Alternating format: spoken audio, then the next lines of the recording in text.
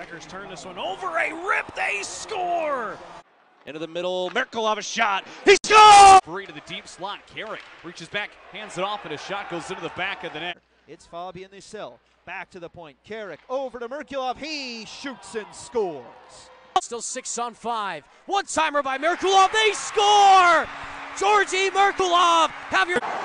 On the line, Riley distributes another one timer. They score. What a shot that was. Under the bar and in. Top for Carrick. Merkulov. One timer scores. Georgii Merkulov. Power play.